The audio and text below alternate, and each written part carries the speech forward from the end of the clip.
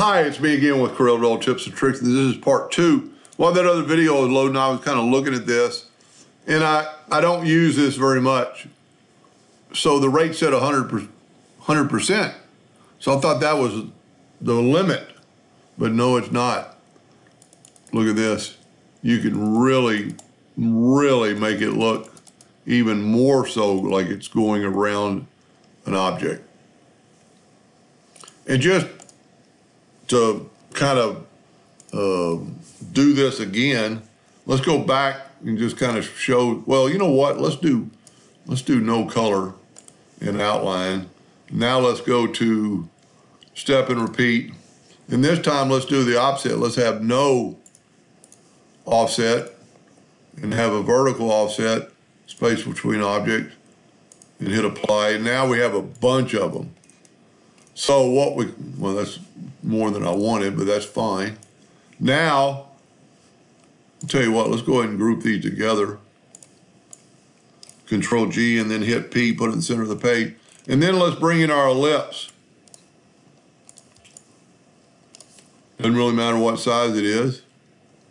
And just with the ellipse selected, let's go here and go fisheye.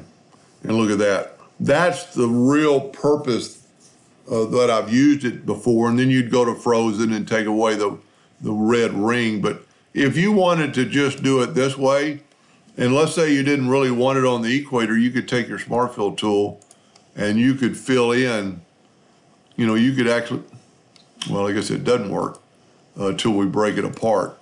Uh, let's go frozen and then go move it out of the way and maybe go group and ungroup. And then you could take your smart fill tool and fill in whatever line you wanted to fill in. You could actually uh, do cross section of this and make it look like, and I'm not going to zoom in and take them all, but you could do, uh, it's a pretty neat effect.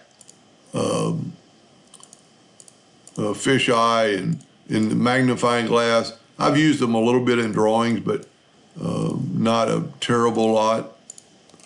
But it does make it look like it's going around the equator and kind of like a belt.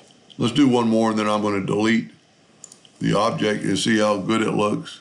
Now remember that we did not, I don't think we can now, I didn't increase the volume but let's take away now the outline by right clicking and you just get the red pattern that looks like it's going away from each other.